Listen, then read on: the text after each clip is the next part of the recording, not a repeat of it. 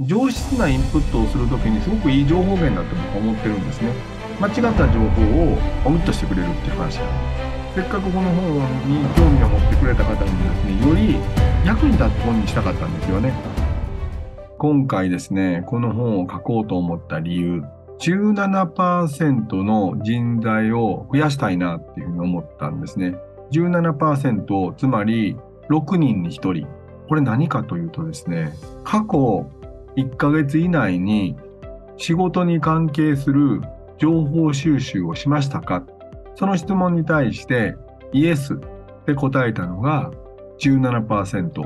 6人に1人なんですね。これ実は私、あの、リクルートって会社にに29年間勤めてたんですが、その中で、えー、リクルートワークス研究所というのがあるんですが、そこの調査グループの責任者をしていまして、都県の1万3000人のワーキングパーソン、つまり働いている方々に今の質問をしてみた。それに対して6人に1人しか仕事に関係する情報収集をしていないって話なんですね。でまあ仕事に関係するインプットをしなくても何も影響がないんだったらいいっちゃいいんですけれどもこの6人のうちの1人つまりインプットをしている人としない5人を比較するとこの1人の方がつまりインプットしている方が仕事に対しての満足度が高いんですね。でしかも仕事に対しての貢献感も高いんです。で、さらに、いろいろな条件を同じにすると、所得が高くて役職も高い。どっちがいいですかっていう話なんですね。なんか因果関係ありそうじゃないですか。つまり仕事に関係するインプットをしている人が成果が出る。成果が出たら当然仕事に対しての満足度も高くなって貢献感も高い。役職も上がるでしょっていう話。インプットしているから当然ですよね。だから私自身も実はこの調査って2000年の調査なんですね。それからいろんな調査があるんですけど日本人って年齢を減るに従って学ばないっていうデータって皆さんもご覧になられたことあると思うんですね。つまり過去の経験だけで仕事をしている人たちっていうのはすごく多いってことなんです。で私はこの調査結果を2000年に知ってそれから2000年から数えて23年間毎年100冊本を読むと決めて読み続けてるんですね。で、おかげさまで、サラリーマンとしては、なんか楽しいビジネスマン生活を過ごせたなっていうふうに思ってるんです。じゃあ、インプットをするって言った時に、私は本を中心に読んでるんですけれども、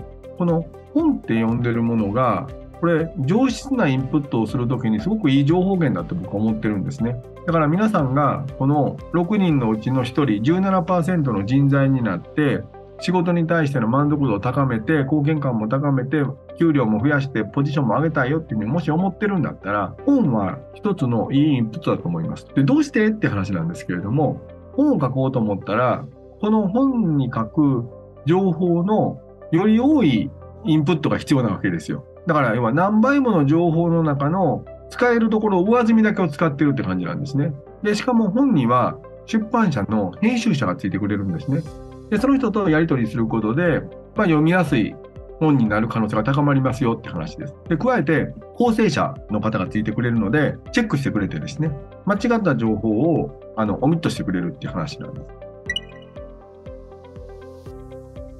じゃあ本読めばいいんじゃないって話なんですけど、本を選ぶのってなかなか骨が折れるんですよね。だから、あの本屋さんに行ってもたくさんありますし、で、レビューをあの選んでもですね、なかなか見つけるの難しいですよね。で、しかも、イノベーションを生み出そうっていう時には、できるだけ違うものを組み合わせたりするのはこっちだったりするんですよね。ってことは、いつも読まない本を読まないといけないんですよ。関心のない本を選ぶっていうのもすごく難しいんですよね。例えば、日経新聞に休日にこうあの見開きでですね本のあの書評だけのあのやつがあったりしたんですけれども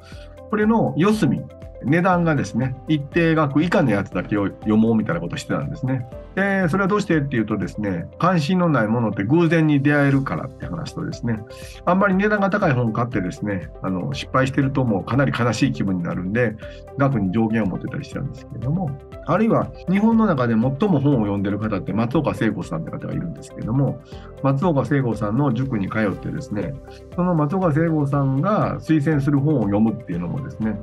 やってたりします。だからできるだけあの自分が選ぶ選ばない本っていうのをやってたんですけれども、で今回だからせっかくこの本に興味を持ってくれた方にですねより役に立つ本にしたかったんですよね。だから年間100冊で23年間読んでるので少なくても2000数百冊は読んでるわけですね。おそらく多分3000冊とかは読んでると思うんですけれどもどうやって選ぶんだって話でですね1個はまあ僕がリクルートって会社に29年間いたんでそれに役立った本っていうのはあるんですけどまあそれはリクルートの中で私が役立った本なので皆さんに役立たないかもしれないなっていうふうに思ってます。じゃあもう1個はどうやってやったのっていう話で言うと僕はあのリクルートの中で急成長するあの組織をずっと最後の10年間ぐらい担当してたのでたくさんの中間管理職を育成しないといけなかったんですね。でその方々に課題図書にした本っていうのがあってですね、その課題図書の中からも何冊か選びましたと。でさらに、今あの、独立してですね、中尾マネジメント研究所って会社をやってるんですけれども、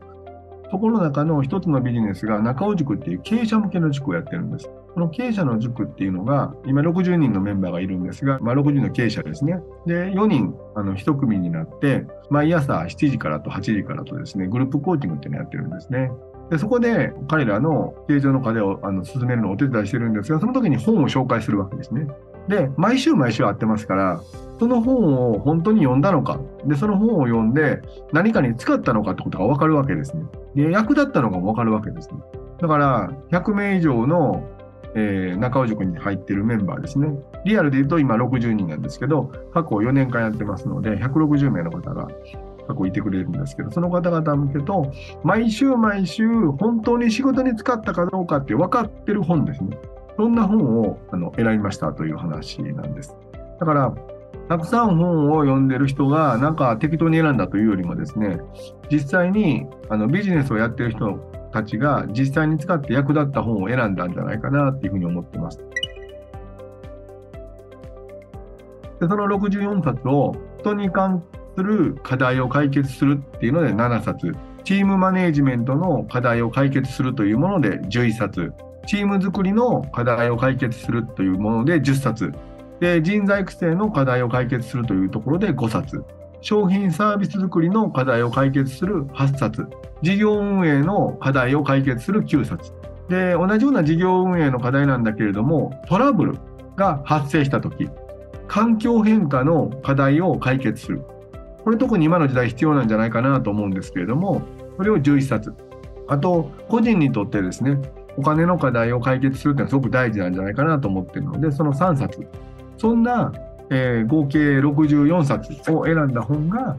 今回、えー、PHP から出版する本当に役立ったマネージメントの名著、64冊を1冊にまとめてみたという本なんですね。きっと皆さんのマネージメントの課題解決に役立つんじゃないかなっていうふうに思っておりますので、えー、手に取っていただければ嬉しいなと思っております。